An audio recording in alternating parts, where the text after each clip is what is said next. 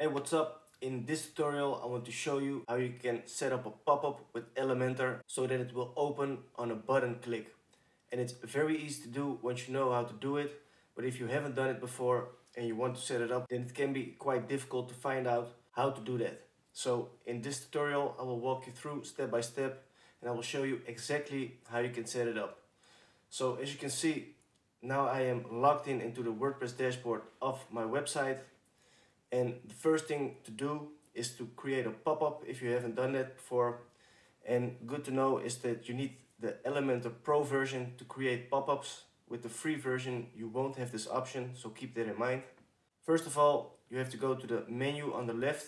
There you will see Elementor, and in other tutorials I have showed you how you can install and set up Elementor. So if you don't know how to do that, make sure to check that out. But if you have Elementor installed, you can see the option right here and below that you can see the templates option. And what you need to do is you have to hover over it with your mouse, then go to the pop-ups option and click on it. As you can see, at this point I haven't added a pop-up yet, so that's the first thing I have to do. So I'll click on the green button, add new pop-up. Now you can see this screen and only thing you have to do is enter a name for the pop-up. For this example, I will call it tutorial pop-up. So remember the name that you give this template because you will need to remember it later on when we need to connect the pop-up to the button. So tutorial pop-up is the name for this template and then you can click on create template. As you can see over here you have pop-up selected and now you can scroll down and see which pop-up you like. You see a lot of templates are available with Elementor. So that's great because then you have a base to work off. So choose a pop-up you like and in this case I'll just go for this one but it doesn't matter which pop-up you choose. So click on insert to add the pop-up to the canvas. And as you can see now the template for the pop-up has been loaded and the great thing is that you can design everything the same way as you're used to with Elementor for the pages and the post. So you can click on an element, design it, or you can add other elements and you can style everything completely how you want it to be. But for this tutorial, I'll leave everything as it is right now. So the only thing I want to show you for this tutorial is how you can open this pop-up on a button click. So after you are done with styling the pop-up and setting up everything the way you want it to be, then the next thing you have to do is click on the green publish button. So click on the button. Now you see this screen will be loaded and over here you can set the conditions for this pop-up. And here it becomes a little bit tricky because you would assume that you would have to set it up over here, but it's not the case. So you can skip the conditions. We don't have to add a condition over here. Also for the triggers, you don't have to add any condition over here. So make sure everything is turned off and also for the advanced rules, you have to make sure to don't switch anything on. So leave everything as it is. Don't select any of the options. Only thing now you have to do is click on save and close. So do that.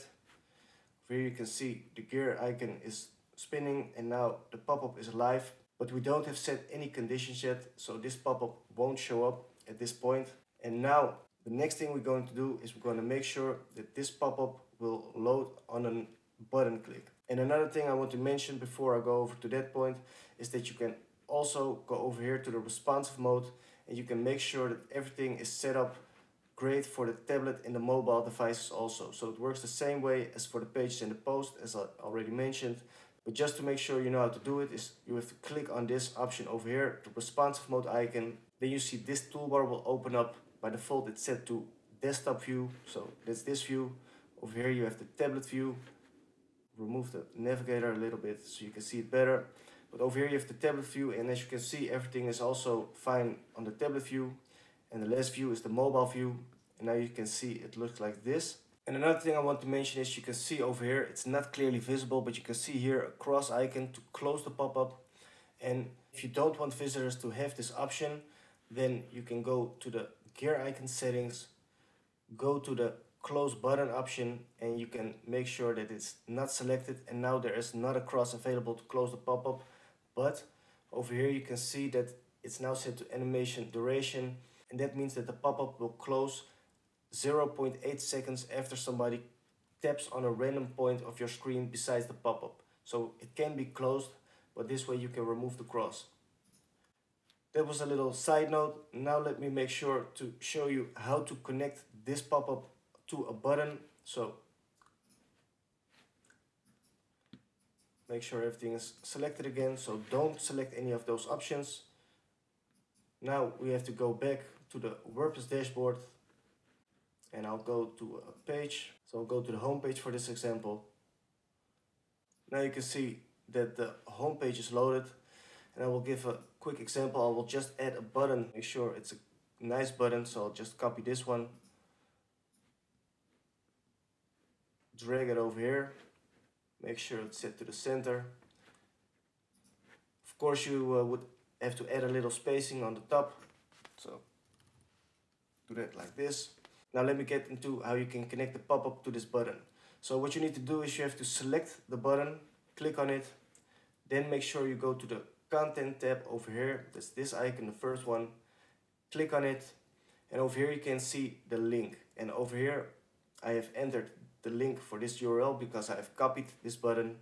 But what you have to do is you have to make sure that this link field is empty and now what you have to do is you have to go to the second option, the dynamic tags option, click on it. Next thing you do is go to the actions option and there you can see pop-up.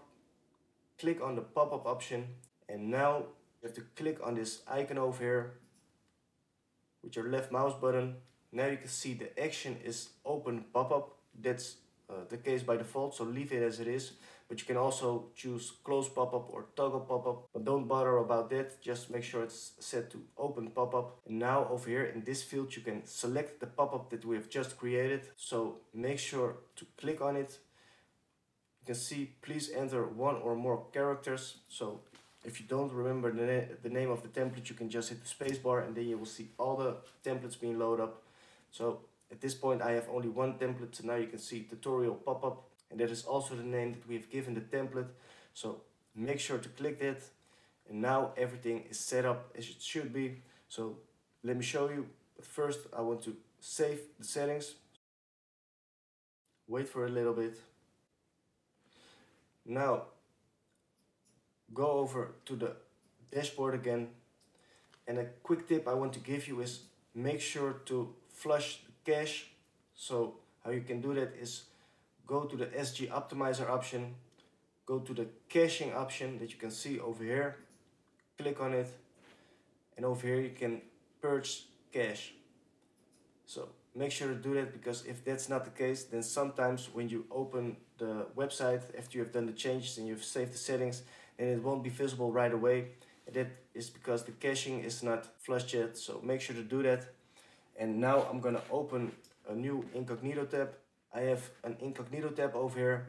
Now let me go to the website. So now I go to websitelearninglab.com and I hit enter. Now you can see that the page is loaded with the button that we have just added. So now let's see if it works. I'll click on the button and you can see that the pop-up now opens up. So it works perfectly, everything is beautiful.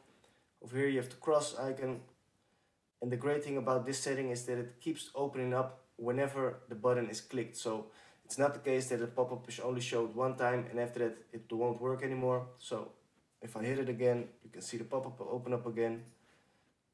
And I can do this on and on. So this is a very helpful feature if you want to use pop-ups on your website. So now you know how to do it. So I hope this tutorial is also helpful for you and it saves you a lot of time. So if that's the case, make sure to smash the thumbs up. Also subscribe to the channel. I would very much appreciate that. Also click on the notification bell if you want to stay up to date on new videos that will be uploaded.